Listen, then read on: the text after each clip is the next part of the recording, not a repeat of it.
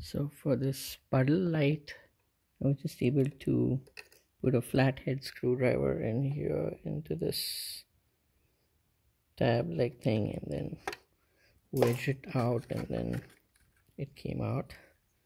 So this is good. Now I just have to get that screw out somehow. And